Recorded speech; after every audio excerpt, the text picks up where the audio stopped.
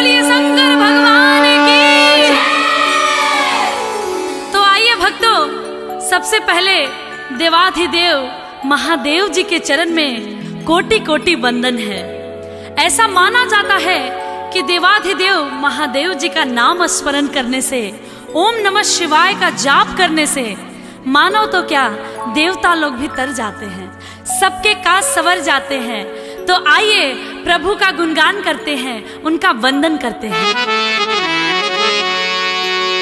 हरि ओम नमः शिवाय।